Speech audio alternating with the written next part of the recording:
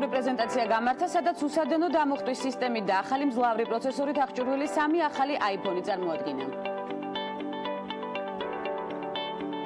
ივანე ჯავახიშვილის სახელობის თბილისის სახელმწიფო უნივერსიტეტის მაღლივი კორპუსის ბაგებთან დამაკავშირებელი საბაგირო სექტემბრის ბოლოს ამოქმედება.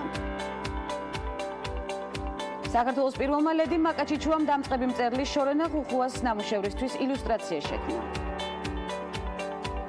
პირველად გერმანული ფეხბურთის უმაღლეს ლიგაში მატჩის მთავარი არბიტრი ქალია.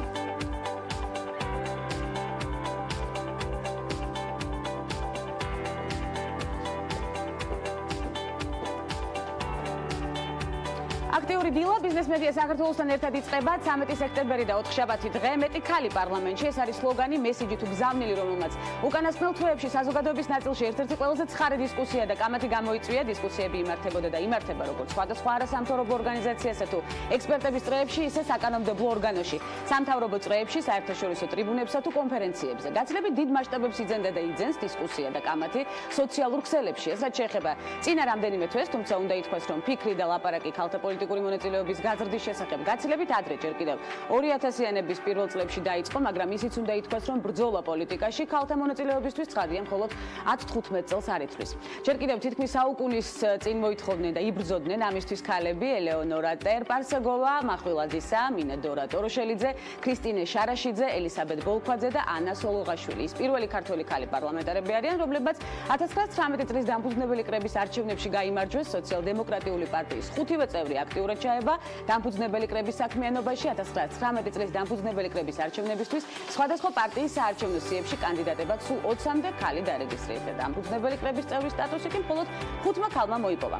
დამფუძნებელი კრების არჩევნები საყოველთაო პარიტეტული პრინციპით მთელი ქვეყნის ტერიტორიაზე ჩატარდა. კრების დებულების მიხედვით არჩევნებში მონაწილეობის უფლება ჰქონდა ყველას განურჩევლად სქესისა. ვნახოთ გადაცემის სტუმრების ვინაობა და კონკრეტულ თემაზე საუბარი სტუმართან ერთად გადაცემის მეორე ბლოკში განვაგრძოთ. მანამდე დღის მნიშვნელოვანი მოვლენები და აქტუალური თემები ქალების ნარატივით.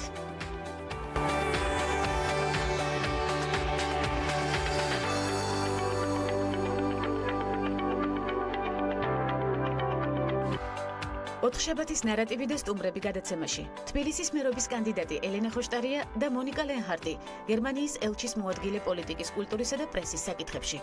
ეს ქალების ნარატივია. გვანცალახიძესთან ერთად.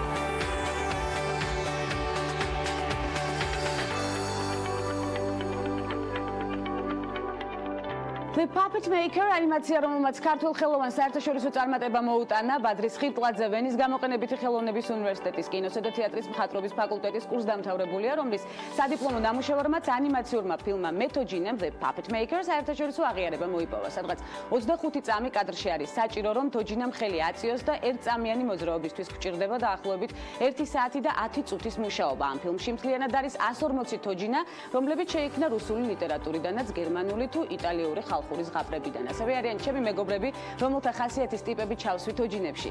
ჩემი ინსტიტუტის მეგობრები და ადამიანები, რომლებიც ქუჩაში ვნახე და მივიჩნია, რომ საინტერესო პერსონაჟები იქნებოდნენ. ამ ფილმში ბევრი რაღაც ჩავდე და სხვათა შორის ფილმი ძალიან ინტიმურია. ფოტოებს თვითონ ვიღებ, მონტაჟს ვაკეთებ და სცენარი ხშირად ჩემია ამ შემთხვევაშიც ასია. ოპერატორი მე ვარ და რეჟისურაც თავადვე გავწიე ამბობს ხელოვანი წარმატებები, რა თქმა უნდა, არჩეულებრივ ხელოვანს საქართველოს პირველმა ლედი მაკაჩიჩუამ როგორც უკვე აღნიშნე, გამომცემლობის პალიტრა ლიტერატურული კონკურსის გახდი ბესტსელერის ავტორი ავტორი ერთ-ერთი გამარჯვებული შორნა ხუხუას ციგნის ხდისთვის ილუსტრაცია შექმნა. მაკაჩიჩუამ ციგნის ავტორს ილუსტრაციისთვის შექმნილი ნამუშევარი გუშინ გადასცა. როდესაც მივიღე შეთავაზება გამაკეთებინა ილუსტრაცია გარეკანისთვის ბევრი არ მიფიქრია ისე ავირჩიე შორენა ხუხუას შემოვალ ეტლით ციგნის შინაარსი ძალიან ახლობელია ჩემთვის. მე მეგობრობ შეზღუდული შესაძლებლობების მქონე ადამიანების ფართო სპექტრთან არა მარტო ეტლიანებთან. ციგნში ძალიან ბევრი ნიუანსი იყო ჩემთვის ახლობელი და კარგად ნაცნობი. ციგნი ძალიან კარგი ენით არის დაწერილი ემოციურად და აზრობრივად დატვირთული. თავიდანვე მივხვდი რომ დიდი სიამოვნებით გავაკეთებდი ამ ნაწარმოების ყდას აღნიშნა პირველმა ლედი. ეროვნულმა გალერეამ აი ვეივეის, ჰუშიავეანის, ალი შურუის, ლიუ ვეის და სხვა ჩინელი არტისტების ნამუშევრებს უმასპინძლა. ექსპოზიციაზე წარდგენილი არტისტები დიდ გავლენას ახდენენ ჩინეთის დღევანდელ ხელოვნებაზე, მათი ავანგარდისტული ნამუშევრები პოლიტიკური, სოციალური და ესთეტიური პრობლემების გადაჭრის განსხვავებულ გზებს ასახავს. ამჯერად გამოფენა მხოლოდ ორი დღის განმავლობაში იყო შესაძლებელი, დაველოდებით უკვე მოვლენების განვითარებას მომდევნო დღეებში. ბრუნო ბოტი ფულსარ ოლის მიერ შექმნილი პირველი ჩეტბოტ თამაშია, რომელსაც ქართული ხმა ესმის, მასთან თამაში შესაძლებელია მესენჯერის პლატფორმაზე. ბოტი გეთამაშებათ თამაშს, რომლის დროსაც უნდა დაასახელოთ მოცემულ ასოზე შესაბამისი ქვეყანა ან დედაქალაქი. მოთამაშემ თავისი პასუხი უნდა გააგზავნოს ხმის ჩანაწერის სახით, ბრუნო მომენტალურად აანალიზებს პასუხს და თავის პასუხსაც უგზავნის მოთამაშეს. გარდა ამისა, ბრუნო შეუძლია გესაუბროთ საკუთარ თავზე და ბევრ საინტერესო თემაზე, ოღონდ მას ეს ყველაფერი ხმით უნდა ჰკითხოთ და არა მოკლე ტექსტური შეტყობინებით. ბრუნო თავის ასაგზე, მეგობრებზე, ციგნებზე, საყვარელ ფილმებზე და პოლიტიკაზეც კი გესაუბრებათ. ბრუნო პულსარმა შექმნა და ნუ მეცნიერ მკვლევარების, დატა ინჟინრების, პროგრამისტებისა და IT ექსპერტებისგან დაკომპლექტებული ჯგუფი ხელოვნური ინტელექტის შექმნაზე მუშაობს. ხადია, მათ ეკუთვნით ცნობილი T-ბოტი და ასევე B-ბოტიც, რომელიც არაერთხის განგვიხილავს ჩვენს პროექტებში. ივანე ჯავახიშვილის სახელობის თბილისის სახელმწიფო უნივერსიტეტის მაღლები კორპუსის ბაგებთან დამაკავშირებელი საბაგირო სექტემბრის ბოლოს ამოქმედება, სარეაბილიტაციო სამუშაოები უახლოეს დღეებში დასრულდება, საბაგიროს ორი ვაგონი ექნება და თითოეული მათგანი დაახლოებით 20 ადამიანზეა გათვლილი. გზავრობის ღირებულება 50 თეთრი 1 ლარის პარკლებში იქნება, მისი მეშვეობით მაღლები ბაგების მიმართულებით გადაადგილებას დაახლოებით 3 წუთი დასჭირდება. მორიგი საინტერესო ინფორმაცია და აქტუალური საქართველოს განვითარებული Light Group კიდევ ერთი ქართული სტარტაპია, რომელიც მრავალი ახალგაზრდის ყურადღებას იპყრობს გამორჩეული ხელნაკეთი ნივთებით, ბრენდი მუშაობს როგორც აქსესუარებზე, აგრეთვე სანათებზე, ჩანთებსა და ბლოკნოტებზე. მოთხოვნა და შეკვეთების რაოდენობა დღითი დღე იზრდება სხვა შორის სტარტაპის დამფუძნებელი 22 წლის თათია თომაძეა, რომელიც ქალების ნარატივს ესაუბრა სტარტაპის კონცეფციასა და სამომავლო გეგმებს. თავიდან სანამ ლაიფის ჩამოვაყალიბებდით, მანამდე ხეზე მიწევდა ხელით მუშაობა. აა ნუ მე რაც პირველად 3 წლის წინ გამოჩნდა ფაბლაბი საქართველოში, რა თქმა უნდა, უფრო მეტი შესაძლებლობა მოგვეცა ბიზნესის დაწყების და აა სახელიც სრულად შემთხვევით სპონტანურად სანათებიდან მოვიფიქრეთ. პრობლემები მხრივ გექნება, რომ ხშირად გადატვირთული არის დანადგარები, ვერ ვქირავთ და გვიწევს ზოგჯერ შეკვეთის გაუქმება, ზოგჯერ კერძო კომპანიებზე მიმართვა. ყველაზე მოთხოვნადი მაინც უფრო ბლოკნოტია, ალბათ უფრო სასაჩუქრად ყველაზე მეტად გამოდგება. თავიდან სანათებზეც დიდი მოთხოვნა იყო, თუმცა მოთხოვნებმა გამოიწვია, რომ ბლოკნოტებიც დაგვეწყო. სანათებიდან ფოტოგრაფიის ღამემდე, ფოტოგრაფიის ღამე წელს ძველი თბილისის ქუჩებიდან ფაბრიკაში გადადის 16 სექტემბერზე. ვა მასშტაბური ეკრანი და მათზე ნაჩვენები ადგილობრივი და უცხოელი ფოტოგრაფების ნამუშევრები მთელს კომპლექსს მოიცავს, მათ შორის სახურავს, ვესტიბიულს, რესტორანსა და შიდა ეზოს. ფოტოგრაფიის ღამე თბილისის ფოტოფესტივალის ცენტრალური ღონისძიება, რომელსაც ყოველწლიურად 7000-მდე სტუმარი ესწრება და ერთ-ერთ გამორჩეულ ღონისძიებად იქცა, რომელსაც დედაქალაქის მოსახლეობა ყოველ წელს დიდი ინტერესით ელოდება. 2017 წლის ფოტოგრაფიის ღამის პროგრამით 400-მდე ფოტოგრაფის ნამუშევარი მთავარი იქნება ნაჩვენები. და რამდენიმე წამში უკვე საქართველოს-გერმანიის წელი მრავალფეროვანი პროგრამით და ნარატივით დღევანდელ გადაცემაში დაგველოდეთ მეტად საინტერესო სტუმარი გველის გადაცემის არეალში ცხადია.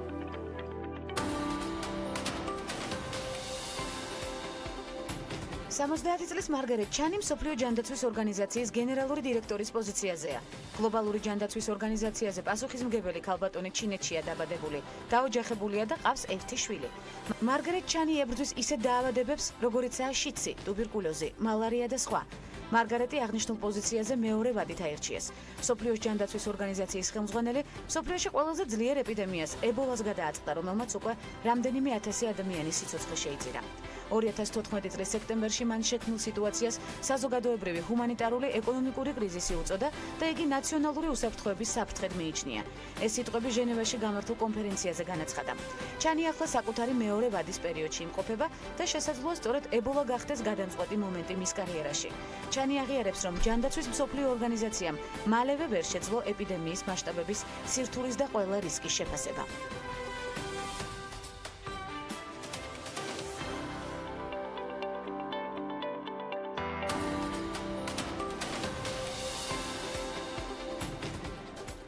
ანდრეა იუანგი კომპანია ეონის ყოფილი გენერალური დირექტორია. თუმცა ქალის ნიჭი იმდენად დააფასეს, რომ მისთვის სრულიად განსხვავებულ სფეროში მოუწია მუშაობა.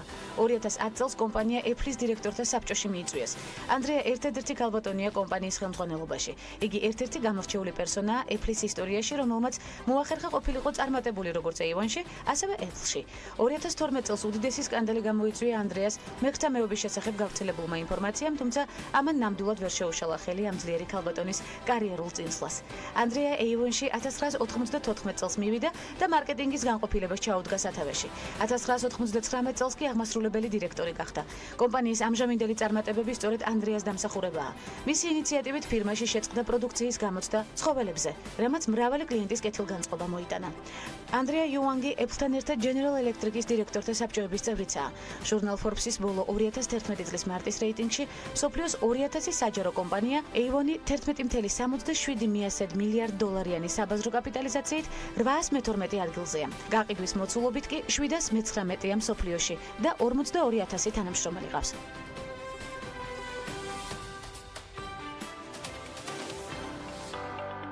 მაშა ასე მრავალფეროვანი და საინტერესო ღონისძიებები დატვირთული პროგრამით იწყება. საქართველოს გერმანიის წლის მეორე ნახევარი ორი ქვეყნის საგარეო საქმეთა მინისტრების პატრონაჟითა და სლოგანით მომავლის მემკვიდრეობა საქართველოს და გერმანია აღნიშნავენ ურთიერთობების მნიშვნელოვან თარიღებს. 200 წლის წინ საქართველოსი პირველი გერმანელი კოლონისტების ჩამოსვლასა და საქართველოსა და გერმანიას შორის დიპლომატიური ურთიერთობების დამყარების 25 წელს. მონიკა ლენჰარდი გერმანიის ელჩის მოადგილე პოლიტიკის კულტურისა და პრესის საკითხებში სინქრონული თარგმანისთვის მადლობას ვუხდით ვალერიან მაჩ ჩაიძეს ცხადია და მივესალმებით მონიკა ლენჰარტს. მოგესალმებით პირველ რიგში უღრმესი მადლობა მონიკა გადაცემაში მონაწილეობისთვის. არაერთი საზეიმო ღონისძიება ელოდება ქართველებს წინ, კონკრეტულად რას უნდა ველოდოთ და რამდენ ხანს გაგრძელდება? Ja, vielleicht nochmal ein kleiner Blick zurück. პატარა გადავხედოთ ჩვენს წელს აპრილში დაიწყო გერმანია საქართველოს წელი. ჩვენ ზეიმოთ 25 წელიწად დიპლომატიური ურთიერთობის აღდგენისა, ასევე ჩვენ გვინდა უფრო მეტად ჩავწოდეთ წარსულს, ამიტომ 7 და 8 ოქტომბერს სახალხო ზეიმს ვიზეიმეთ ბოლნისში 200 წლის იუბილეს გერმანელის ჩამოსვლისა. და ჩვენ ვახსენეთ ჩვენი დევიზი ეს არის მომავლის მემკვიდრეობა ძალიან ბევრი ღონისძიება გვაქვს დაგეგმილი მე შეიძლება ვახსენო ერთი ძალიან კაი პროექტი რომელიც გუშინ ჩატარდა ეს ქართულ-გერმანული საზაფხულო სკოლა რომელშიც მონაწილეობა მიიღეს გერმანულ და ქართულ სტუდენტებმა და მოიფიქრეს როგორ შეიძლება გერმანული კულტურული მემკვიდრეობის უკეთესად დაცვა ბოლნისში რომ მომავალში ეს მემკვიდრეობა ჩვენ სამომავლო შეუნა შეუნარჩუნოთ და გამარჯვა ერთ-ერთმა პროექტმა რომელიც იქნება ასე რომ თქვა საინფორმაციო გზა რომელიც ქართული მხარის მიერ დაფინანსდება ნიშნული ასპექტია ქართული ურთიერთობისა რომ ჩვენ კულტურული ურთიერთობებით შევძლოთ ჩვენი ურთიერთობა მიღწევების კიდევ უფრო გაღმავება და ამ თანამშრომლობით შევძელით ზუსტად იმ ღონისძიებების მოწყობა, რომელიც მეორე ნახევარში გამართება. მე შემიძლია კიდევ თქვა რა გვაქვს ჩვენ დაგეგმილი? შემდეგ კვირებში პირველი საერთაშორისო თეატრის ფესტივალის ფარგლებში დორტმუნდის თეატრი წარმოადგენს თავის ნაწარმოებებს თამაშის დასასრული. რომ რომელიც გოთის ინსტიტუტის მიერ არის ხელშეწყობილი. და ჩვენ ისედაც ძალიან დიდ მონაწილეობას ვიღებთ და გოთის ინსტიტუტი დიდ მონაწილეობას იღებს ამ ფესტივალში რომელიც თბილისში ტარდება თეატრალურ ფესტივალში. იქნება წარმოდგენილი გერმანული ნაწილი. ასევე ბათუმში ფილმების ფესტივალში ასევე თეატრალურ ფესტივალში საჩუქარი იქნება გერმანული თეატრალური წარმოდგენილი და ასევე საშა ვალცის ქორეოგრაფიული ანსამბლი წარმოადგენს. თავის წარმოდგენებს ეს ყველაფერი არის ერთი მცირე ნაწილი იმისა, რა ღონისძიებებსაც ვაპირებ ჩვენ გერმანია საქართველოს ფარგლებში. ხო, შემდეგ კვირას გამართება ხელოვნების ფესტივალი კამერა ობსკურა, რომელიც ერთი კვირის განმავლობაში გაგრძელდება. კი ბატონო, დაუბრუნდეთ ღონისძიებას მუსიკალური ფესტივალი კამერა ობსკურა თბილისი, ბერლინი, ასევე შაუშპილ დორტმუნდის გახმაურებული სპექტაკლი, რომელიც ვახსენეთ თამაშის დასასრული. გერმანიიდან თუ ველოდებით განსაკუთრებულ სტუმრებს. Ja, wir erwarten zum Beispiel ველოდებით მაგალითად კამერა ობსკურადან ორ DJs ძალიან ნიშნელოვანი DJ-ები არიან, იმიტომ რომ თბილისი ძალიან ხშირად მოხდა ახლა გაზეთებში როგორც ერთ-ერთი წარმატებული ღამის ცხოვრების ქალაქი, ასევე ბერლინშია ესეთი ქალაქი და ზუსტად კაფე გალერეში ეს ორი DJ გამართავენ თავიანთ წარმოდგენას. იქნება ასევე ფოტო გამოფენა მარგარეტე პროიხისა, ასევე ჯაზ კონცერტი იქნება. სხვადასხვა კულტურული და ხელოვნების ღონისძიებები. ნამდვილად გამორჩეული წელი იქნება, ნამდვილად ძალიან დახუნძლული საინტერესო პროექტებით და ღონისძიებებით, რომელსაც აუცილებლად მივადევნებთ თვალყურს და კიდევ მოვიკითხავთ ცხადია შედეგებს. 25 წელი დიპლომატიური ურთიერთობა, ასევე კულტურული ძალიან მნიშვნელოვანი მიმართულება, როცა დღევანდელი გადმოსახედიდან აფასებთ ორ ქვეყანას შორის ურთიერთობას. თავარ მონაპოვრად რა მიგაჩნიათ მონიკა?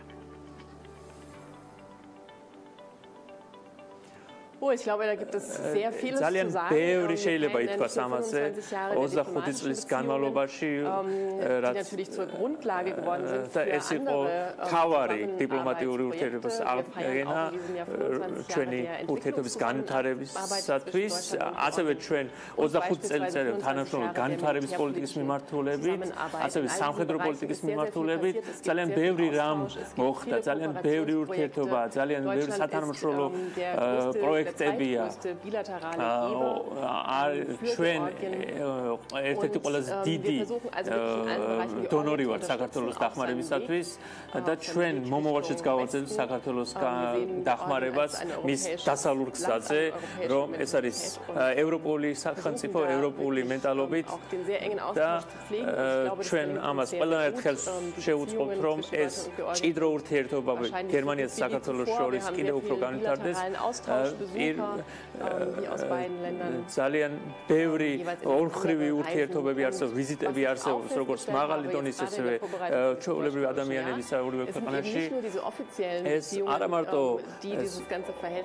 ოფიციალური ურთიერთობა არსებობს ჩვენს ქვეყნებს შორის, არამედ ძალიან ძალიან ბევრი კერძო ინიციატივები არსებობს, კერძო ურთიერთობები არსებობს, პარტნიორობები არსებობს, მაგალითად ქალაქებს შორის, თბილისსა და ზაარბრუკენს შორის, თელოსა და ვიბერახს შორის sehr viel kleineren Ebene ასევე დაბალ დონეზე ძალიან ბევრი ურთიერთობა რომელიც ძალიან მდგრადია ძალიან მნიშვნელოვანია ეს ურთიერთობა ნამდვილად კიდევ უფრო მყარდება და გამყარდება დარწმუნებული ვარ. ნამდვილად უკვე ძალიან ახლობლური ურთიერთობა და ძალიან ბევრი ისტორიის მომცველი რომელზეც საუბრობდით ცხადია ქართული კულტურასაც მინდა შევეხო.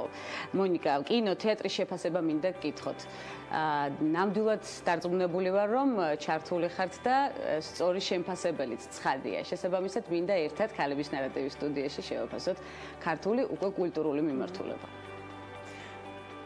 Ich kann wahrscheinlich ein bisschen mehr zum Film sagen, weil viele der georgischen Filme eben mittlerweile auch in, ähm, in Deutsch übertragen wurden. Ich habe bei Germaniaschitz ხშირად არის ნაჩვენები ქართული ფილმები, როცა ბერლინში ვარ, ყოველთვის ვცდილობ ქართული ქართული ფილმები ვნახო. ძალიან საინტერესო განვითარება ქართულ კინოს. და ძალიან ბევრი საინტერესო ფილმი მაქვს ჩემს სიაში, რომელიც კიდევ უნდა ვნახო. ჯერ არ მინახავს. Deutschland sehen kann. also auch da gibt es wirklich sehr viel was sozusagen არის რაც თქვა საქართველოსთან გერმანიაში მიდის bisschen weniger gut beurteilen weil ich einfach თეატრს ისე ვერ შევაფასებ იმიტომ რომ ქართულად ვერ საუბრობ ისე რომ თქვა თეატრს ხშირად ვუყურო das nur als ein beispiel. Ich merke dass da auch sehr sehr viel მე ფიქრობ რომ ძალიან ბევრი კონტაქტი არსებობს თეატრებს შორის გერმანიასა საქართველოს შორის და ძალიან ბევრი დადებითი ინფორმაცია მომდის ამის შესახებ. მე ვისწავლე გერმანულს და აუცილებლად დაგპატიჟებთ სპექტაკლზე, ქართულენოვან სპექტაკლზე და შემდეგ იქვე ვიქნები თარჯიმანი. მსახიობის ოსტატობას ცხადია მარტივად შეაფასებს. გერმანიას თუ აქვს პროგრამები, რომელიც უშუალოდ ეხმარება ქართული კინოს ან თეატრის განვითარებას საქართველოში?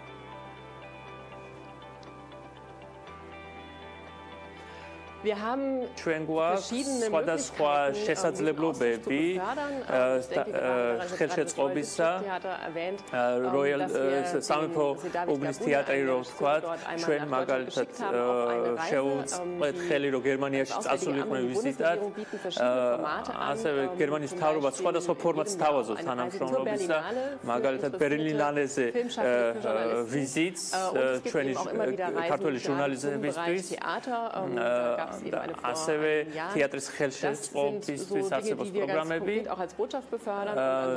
ჩვენ როგორც საელჩოს შეგვიძლია ასევე ხელშეწყობა და ასევე როგორც გოეთეს ინსტიტუტს შეუძლია სხვადასხვა პროგრამებით, სხვადასხვა გაცვლითი პროგრამებით, ვორქშოპებით განახორციელებს ეს ხელშეწყობა და ეს ინსპირაცია შევიდეს ამ ჩვენ ურთიერთობებში. რამდენად ახლოს ვართ საქართველოს-გერმანია კულტურული მიმართულებებით? და რამდენად სასიამოვნოა ჩვენთან თანამშრომლობა. ასეთ ლამას ნოტაზე უნდა დავასრულოთ დღევანდელი დიალოგი.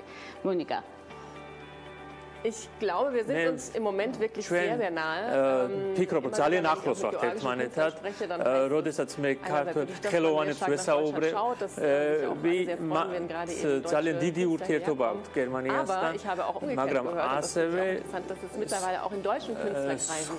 გერმანელი ხელოვანების განმაქვს ძალიან ბევრი გაგებული, რომ სურთ საქართველოს ხელოვანებთან ურთიერთობა და აუცილებელი შეუძლებელია რომ თქვა გერმანელს კონდეს ურთიერთობა გერმანელ ხელოვანს ქართულ ხელოვანთან. ეს ტენდენცია არსებობს.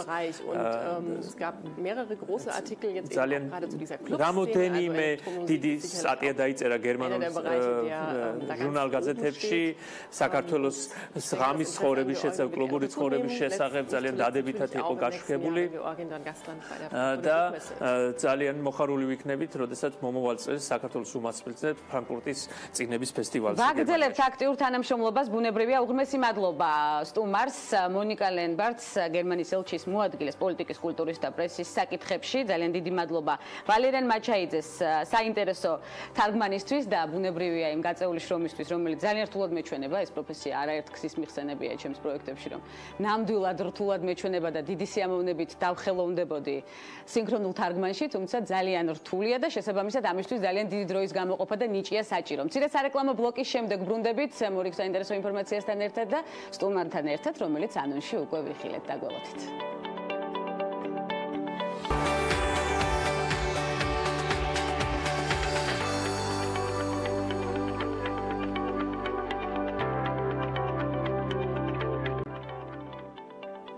გველოთით. ბრუნდებით რეკლამის შემდეგ უკვე უცხოეთში განვითარებული მოვლენებით ელფმა გუშინ ყოველწლიური პრეზენტაცია გამართა, სადაც უსადენო დამოხტვის სისტემით და ახალი მძლავრი პროცესორით აღჭურვილი სამი ახალი iPhone-ი წარმოადგინა.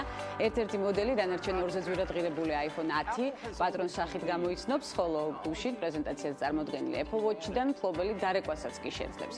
64 გიგაბაიტიანი iPhone 10-ის ღირებულება 999 დოლარს შეადგენს. Apple ამ მოდელის 256 გიგაბაიტიან ვერსიასაც გამოუშვებს, ხოლო შორის წინასწარი შეკვეთების მიღება მიღება 27 ოქტომბერს დაიწყება, ხოლო გაყიდვები 3 ნოემბრიდან.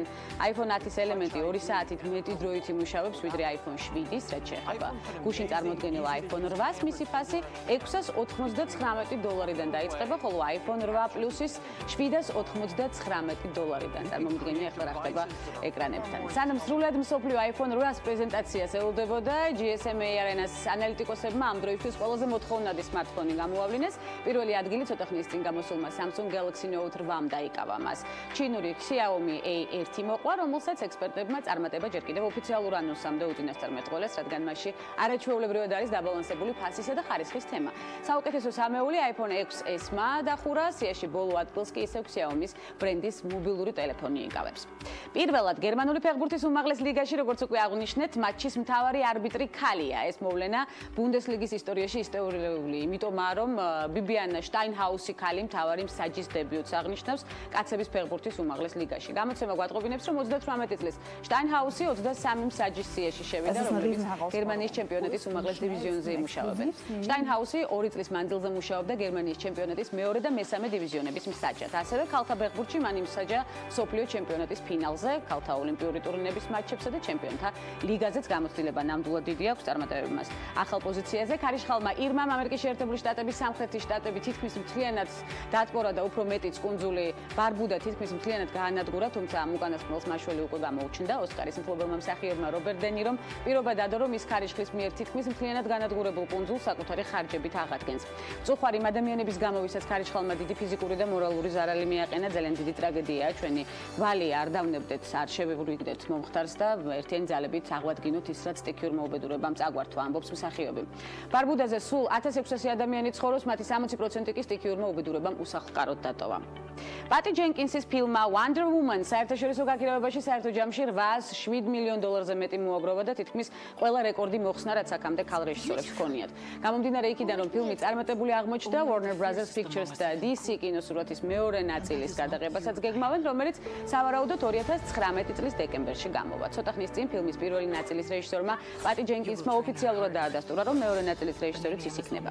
აღსანიშნავია, რომ ჯენკინსი ამ შემთხვევაში გახდება ყველაზე მაღალანაზღაურებადი ქალი რეჟისორი, რომელიც ფილმისთვის ფიქსირებული 8 მილიონი დოლარის გარდა ფილმის შემოსავლიდანაც მიიღებს წილს. სტივენ კინგის ბესტსელერის იგის ეკრანიზაციამ კინოგაქირავებაში რეკორდულ მაჩვენებელს მიაღწია პირველივე კვირას მხოლოდ ამერიკის შეერთებულ შტატებში. კინოგაქირავებიდან 117 მილიონი დოლარი გამოიმუშავა. ინფორმაციას ავრცელებს The Guardian. მსოფლიო კინოთეატრებში ჩაშვების პირველ კვირას ფილმს 179 მილიონი დოლარის მოგროვებას უწინასწარ მეტყოლებენ. რეჟისორმა ანდრეს მუსკეტმა ახალი იგი 1990 წელს გადაღებულ ვერსიას დააფუძნა ვიცით ეს ფაქტი. ისტორია ეხება ამერიკელ ბავშვებს, რომლებიც პატარა ქალაქიდან ქრებიან. მათ საშინელი ჯამბაზი პენი ვაიზი იტაცებს. ქალების ნარატივი იწყებს ყოველკვირეულ პირდაპირ ჩართვებს საქართველოს ეროვნული არქივიდან. თემა კი ძალიან საინტერესო იმ ქალების შესახებ მოგიყვებით, რომლებმაც ისტორია შექმნეს და თავისი კვალი დატოვეს. ამჯერად ქრისტინე შარეშიძის ჯერია ქალბატონი, რომელიც არაერთხელ ყოფილა დაპატიმრებული რუსეთის მიერ ოკუპაციის გაპროტესტების მიზნით. ქრისტინე შარეშიძეზე არქივიდან ნინი ლონგურაშვილი მოგვიყვება. ნინი მოგესალმებით. მოგესალმები გვანცა, მივესალმები ქალების ნარატივის მაყურებელსაც და როგორც აღნიშნე, დიახ, ჩვენ გეგმავთ გადაცემაში არაჩვეულებრივი რუბრიკის დანერგვას, რომელიც ვფიქრობ, რომ წარმატებული იქნება, რადგან ყოველ კვირას ჩვენ კვირაში ერთხელ ჩვენ შევეცდებით იმ ქართულ ქალებზე მოგიყვეთ ისტორიები, რომლებიც სწორედ ამ შენობაში ინახება და ამ შენობაში არის დაარქივებული. დღევანდელი თემა და ჩვენი მოგიყვებით ქალბატონზე, როგორც აღნიშნე, ქრისტინე შარაშიძეზე, რომელიც დიახ, რუსეთის ოკუპაციის წინააღმდეგ გამოსვლების და გამო არაერთხელ ყოფილა დაჭერილი და ასევე ქრისტინე შარაშიძე არის საქართველოს პირველი რესპუბლიკის პარლამენტის წევრიც და კიდევ მრავალი სხვა. სწორედ აი ასე დეტალებზე და იმ ისტორიებზე, რომლებიც ქრისტინე შარაშიძეს ეხება, ჩვენ მოგვიყება ანტონ ვაჭარაძე, საქართველოს ეროვნული არქივის საისტორიო არქივის დირექტორი. ჩვენი სტუმარი უკვე მეორედ ბრძანდებით და მოგვიყევით ამჯერად უკვე ქრისტინე შარაშიძეზე. ვინ იყო ეს ქალბატონი და როგორი კვალი დატოვა ჩვენს წარსულს? მოგესალმებით. დიახ, მართლაც გამორჩეულ ადამიანს ქალბატონზე სულს ვისაუბროთ დღეს. ქალბატონი, რომელიც ასე ვთქვათ, თანამედროვე გაგებით პოლიტიკურ სათავეებთან იდგა საქართველოს პირველი რესპუბლიკის.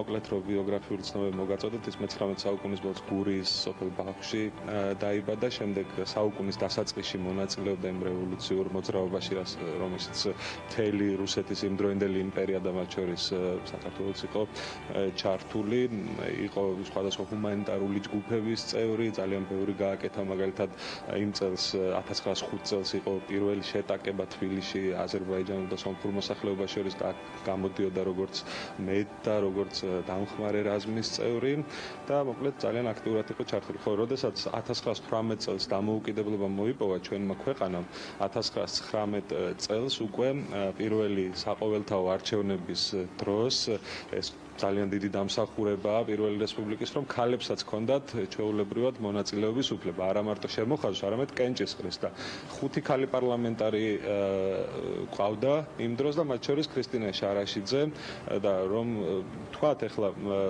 ევროპის ბევრ ქვეყანაში ქალებს არ ჰქონდათ უფლება ხმის მიცემისაც კი და ჩვენი დემოკრატია ესეთ მაღალ დონეზე იყო რომ უკვე ხუთი პარლამენტარი ქალი ყავდა და საკმაოდ ეს ქალბატონები იყვნენ არა რაღაც თქვათ გასალამაზებლად შენობის არამედ საკმაოდ აქტიურ მონაწილეობას იღებდნენ საკანონმდებლო საქმიანობაში. თვითონ ქრისტინა შარაშიძე იყო პრეზიდიუმის წევრი, პარლამენტის სხვადასხვა კომისიების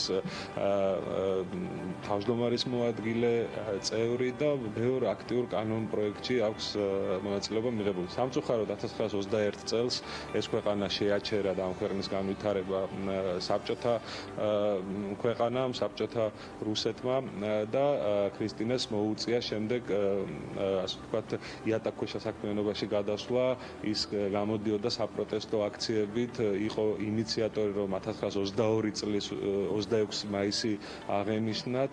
ამის გამო ის იდევნებოდა, რამდენჯერმე დააპატიმრეს მის ოჯახის წევრებს ეხებოდა ეს რეპრესიები და საბოლოოდ მოხდა ისე რომ ეს ადამიანი ამ ადამიანის პოლიტიკური კარიერა ასე ვთქვათ დასრულდა.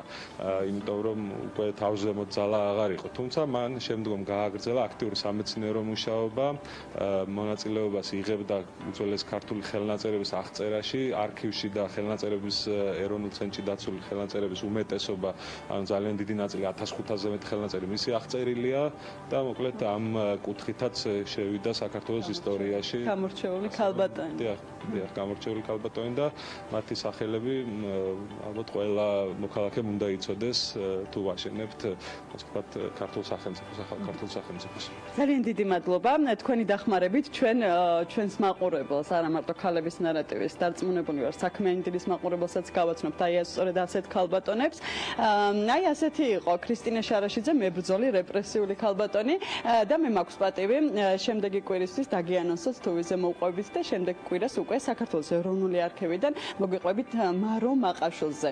არც თუ ისეთ ნაკლებ მებრძოლ და რეპრესიულ ქალბატონზეც, ასე რომ დროებით მე ქალების ნარატივში იქით კვირამდე გემშვიდობ. უღმესი მადლობა ძალიან საინტერესო ჩართვისთვის, უღმესი მადლობა თქვენ სტუმარს და ძალიან დიდი რუდუნები დაველოდები უკვე მომდევნო ჩართვას.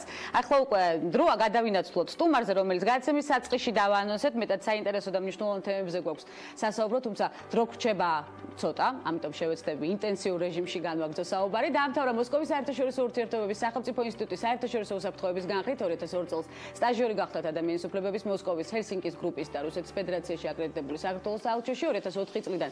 საერთაშორისო ურთიერთობების კოორდინატორი საერთაშორისო ურთიერთობათა დეპარტამენტის უფროსი შინაგან საქმეთა სამინისტროში საერთაშორისო ურთიერთობების დეპარტამენტისა და ევროატლანტიკური ინტეგრაციის უფროსის მოადგილე 2004-2006 წლებში ევროპული და ევროატლანტიკური ინტეგრაციის საკითხებში სახელმწიფო მინისტრის აპარატის ევროატლანტიკური ინტეგრაციის დეპარტამენტის უფროსი 2007-2012 წლებში ევროპული და ევროატლანტიკური ინტეგრაციის საკითხებში სახელმწიფო მინისტრის პირველი მოადგილე.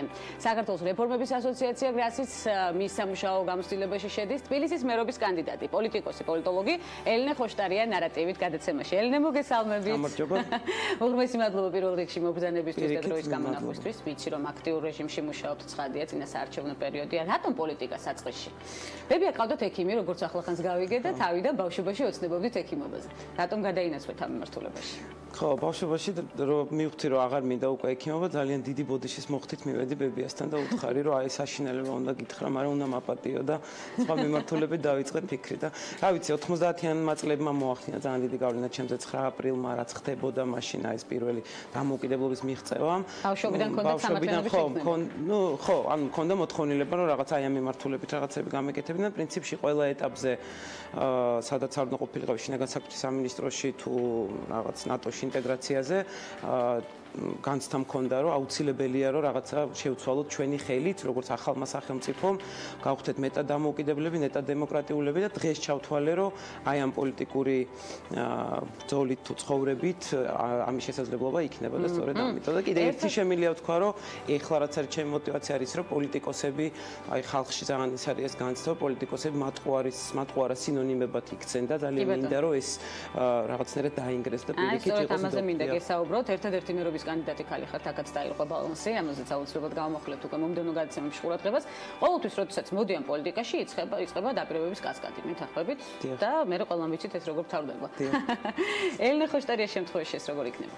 აა ну, რა თქმა უნდა, ეს უნდობლობა დაპირებების მიერ ძალიან მაღალია, ამას ხალხში ვხედა უბრალოდ, ამიტომ ძალიან მნიშვნელოვანია, რომ ოქროს კოშკები არ აუგოთ ადამიანებს და უთხრათ ის, რაც მართლაც შესაძლებელია და აუხსნათ რატო არის ეს შესაძლებელი. ამიტომ ჩვენი პროგრამა არის უფრო არა დაპირებები, არამედ გეგმა, რომელიც შესრულებადია და მე ძალიან დიდ დროს უთმობ იმას, რომ ადამიანებს აუხსნა, აი საიდან არის შესაძლებელი, მაგალითად, რომ შეიქმნას 35000 სამუშაო ადგილი თბილისში. ეს არის მილიარდლარიანი ინვესტიცია, მილიარდლარიანი ინვესტიცია არა სახელმწიფოს ზოგადად ბიზნესის და მათ შორის მერიის ხელშეწყობა, რომ ჩაიდოს ქალაქში მილიარდი, ეს ქმნის 35000 სამუშაო ადგილს, რაში ჩაიდება ეს კონკრეტულ პროექტებს უხდით. კი, სატვირთო რკინიგზის გადატანაში, რეაბილიტაციის პროექტებში, ყოფილი სამეწარმეო ტერიტორიების გამოყენებაში, სატრანსპორტო რეფორმაში, ანუ ძალიან ვრცლად უხსნით ადამიანებს, რომ ეს არის არა რაღაც ნასროლი ციფრები, არამედ კონკრეტული გააზრებული გეგმა, რომელიც აბსოლუტურად მიღწევადია. თუმცა კიდევ ერთხელ ვიმეორებ, ზოგადად ადამიანები იმდენად გადაღლილები არიან და იმდენჯერ მოტყუებულები არიან, რომ ძალიან კი და თქვენ იცით, რომ მე სწორედ აი ამ სიტუაციის გამო გადავწყვიტე, რომ ვიცხოვრო კიდევაც უბანში, იმიტომ რომ ცხოვრე სხვადასხვა ოჯახში, ყველა უბანში ვცხოვრობ, უკვე 8 უბანი გამოვიარე, 8 ოჯახი გამოვიარე და ეს არის იმის საშუალება, რომ სწორედ წინა საარჩევნო აი დაპირებების სროლიდან გადახვიდე ადამიანებთან რეალურ ურთიერთობაზე, იმიტომ რომ საღამოს, როდესაც ჩაიზესი ხარ უკვე როგორც ოჯახის წევრი და საუბრობ შორის მეზობლებთან, ხო, სხვა კონტექსტია ურთიერთობის, სწორედ ამიტომ, იმიტომ რომ ეს უნდობლობის ხარისხი ესეთი მაღალია ადამიანს. თბილისის იერსახეზე რა სიტყვით? ჩვენ თბილისის იერი ასახავს თელ ჩვენ ისტორიას, თელ ჩვენ ტრამვირებულ ისტორიას, დაწყებული საბჭოთა პერიოდიდან, რომელსაც საშინლად დაამახინჯა ქალაქი, გაგრძელებული 90-იანი წლების კორუმპირებული პერიოდიდან, რომელიც ასევე რომელსაც ასევე დაამახინჯა ქალაქი, მე ვფიქრობ, წინა პერიოდი, გიგიუგლავას პერიოდი, რომელიც რა თქმა უნდა დანგრეული ქალაქიდან შექმნა ქალაქი, ჩვენ გვახსოვს, რომ ვირთხები ჭამდნენ მართლა ქალაქს და შექმნა ქალაქი, მაგრამ მიუხედავად ამისა, აი იერის თვალსაზრისით და მშენებლობის თვალსაზრისით შეცდომები იყო ჩემი აზრით დაშვებული და ესეც ასახულია და ჩვენ შესაბამისად ქალაქის ნაწილებში მივიღეთ ბეტონის ტყეები, ასე ვთქვათ, რაც არის რა თქმა უნდა, ამას ჩვენ ყველაფერს ხედავთ, თუმცა ეს არ არის მარტო ეხა ჩვენ ჩვევია ხოლმე რაღაცა ჩაციკლა ერთ პერიოდზე, ეს არის მთელი ჩვენი ქალაქის ქალაქის ისტორია. გარდა ამისა, ჩვენ ქალაქს აი ამ ბეტონის ტყეების გარდა მეორე პრობლემა აქვს. დანგრეულია ქალაქის ძალიან დიდი ნაწილი. გაჯანსაღება ჭირდება ქალაქს. აი ჩვენ გვაქვს 17% ქალაქში, რომელიც არის ყოფილი საწარმოო ტერიტორიები, ეს არის ავჭალაში, სანგორში, ისანში, ნაძალადევში. ძალიან დიდი ტერიტორია მეაქ აი ამ დანგრეულ შენობებს, არის ნაგვის, უბედურების, სიბინძურის, არ ვიცი, რაღაც დაავადებების კერებია უზარმაზარი ქალაქის ცენტრში ფაქტიურად. ამას უნდა აუცილებლად განახლება. ჩვენ გვაქვს 3000-ზე მეტი ავარიული სახლი, კულტურული მემკვიდრეობა და არაკულტურული მემკვიდრეობა. ესეც დანგრეულია. ჩვენ გვაქვს დანგრეული უამრავი უბანი, სადაც დანგრეული გზები, აი ხა ცხოვრობდი სამრეწველო დასახლებაში ნავთლუხში და მთელი დაახლოებით 1500-იანი დასახლება, აი ვერ წარმოიდგენთ, ეს არის რაღაცა არც გზა არის, ღობეები მონგრეული, ანუ ქალაქს პირველ რიგში დღეს რა სჭირდება, ეს არის გაჯანსაღება იერის თვალსაზრისითაც და მთლიანად ინფრასტრუქტურის. რა თქვენს პროგრამაში ცხადია ეს შედის, კლავიდეურად განვიხილავთ არაერთის და რა თქმა უნდა შედეგებს მოვიკითხავთ. ელინი სიმართლე გითხრათ, მაინტერესებს ეკონომიკური მიმართულება ჩვენ გადაცემის ფორმატებიდან გამომდინარე ცხადია. ბიზნესთან რა მიდგომა გექნებათ, რადგან გამოდმებით გვესმის ბიუროკრატიული ბარიერების შესახებ. რომელიც ნუ ყოველდღურად იქნება შეიძლება ასე ითქვას. თქვენ რა მიდგომით იქნებით? დღეს ქალაქში მთავარი პრობლემაა თავის დროზე ბიუროკრატიული ბარიერები ძალიან შემცირდა, მაგრამ დღეს ვიღებ სიტუაციას, როდესაც კორუფცია, რომელიც თითქოს დამარცხებული იყო, მერი არის ერთ-ერთი ისეთი ადგილი, სადაც კორუფციაზე ძალიან ისევ ალაპარაკდა ყველა და ასევე აი კაბინეტიდან კაბინეტისში სიარულის ასე ვთქვათ, აი ნებისმიერ მოქალაქეს რო კითხო, აი ერთი კაბინეტიდან მეორეში გააგზავნიან, მესამეში, მეოთხეში და ასე შემდეგ და ამ დროს ჩვენ ხედავთ, რომ მაგალითად კალაძე, რომელიც საუბრობს, რომ შენებლობის პრობლემაა ქალაქში და урბანული გენოციდზე საუბრობს, პარალელურად თავისი მშენებლობისთვის, თავისი ჯგუფისთვის, არქიჯგუფისთვის კოეფიციენტს აზრდევინებს და ზუსტად 20 დღეში საბჭო რომელსაც უარი უთხრა 20 დღეში გადათქვა და მისცეს 8 სართულიანი სახლის აშენების მშენებლობა, სადაც არ იყო ეს ნებადართული 3 სართულიანი იყო იქ სტანდარტი. ანუ ჩვენ აქ ხედავთ, თავი პრობლემა არის არაიმდენად კანონმდებლობაში და ეს არის დამოკიდებულებაში ზოგადად აი ამ გუნდის, რომელიც ახლა დღეს არის ქალაქის მართლობაში. ამიტომ რა თქმა უნდა, აქ ჩვენ ძალიან სწორი ბალანსი უნდა გქონდეს. ერთის მხრივ ბიზნესისთვის ძალიან მარტივი უნდა იყოს საქმის კეთება ამასთანავე. არ შეიძლება რომ ჩვენ არ გავითვალისწინოთ მათ შორის ჩვენებლობებზე როცა საუბრობთ მხოლოდ ჩვენებლობები არ არის ბიზნესი რა თქმა უნდა მაგრამ როცა ჩვენებლობებზე საუბრობთ არ შეიძლება არ გავითვალისწინოთ რომ ქალაქს აქვს დეველოპერების გარდა ინტერესი რომ ის იყოს მწვანე ინტერესი რომ ჰაერი იყოს სუფთა ინტერესი რომ ადამიანები, ვინც ავარიულ სახლებში ცხოვრობდნენ, მათი უფლებები იყოს დაკმაყოფილი ინტერესი, რომ მშენებლობა არ ქმნიდეს პარკინგის და კომუნიკაციების პრობლემას, ამიტომ ნებისმიერ გადაწყვეტილება, ყველა სანტიმეტრზე 40 სართულიანი корпуსი კი არ უნდა ავაშენოთ. უნდა მივიღოთ გადაწყვეტილება, რომელიც ითვალისწინებს ქალაქის იერს, მწვანე კომპონენტს აუცილებლად, ადამიანებს სოციალურ უფლებებს და ასე შემდეგ. ამიტომ ყველაზე მე ვიქნები ძალიან დიდი მოკავშირე ბიზნესის, რომ ქალაქში, იმიტომ რომ ეს არის მთავარი წყარო სამუშაო ადგილების შექმნის, ქალაქში ამას ამასთანავე რა თქმა უნდა გადაწყვეტილებები იქნება მიღებული არა მხოლოდ ბიზნეს ინტერესებიდან გამომდინარე, არამედ კომპლექსურად თლიანად ქალაქის ინტერესებიდან გამომდინარე. ბალანსი ყველაფერში, მეტი ხალი პოლიტიკაში და რა თქმა უნდა ამ დისბალანსზეც აუცილებლად ვისაუბროთ უკვე მომდევნო გადაცემებში, თუ რა თქმა უნდა კომფორტულად იგზენის თავი, აუცილებლად დაპატიჟებთ. ვაუ, ჩვენთან. აუცილებლად ვისაუბროთ ასევე თქვენ სპორტულ მისწრაფებებზე, თხილამურებზე, კერძოდ ამასაც შევეხებით. ძალიან ძალიან პირობითად შემილია სპორტული დავარქვა 3 წელია, რაც დავდექი და ჯერჯერობით სწავლის პროცესში ვარ. უკვე აქტიურად და სიამოვნებას განიჭებთ, ცხადია, ეს ერთ-ერთი განტუხთვის საშუალება შეიძლება. თვითონ სწავლის პროცესი მაინჭებს, მე მგონი და პირველ პირველად ყუდებინა რომ ჩამოსრიალდი, მეგონა რომ არჩევნები მოვიგეთ.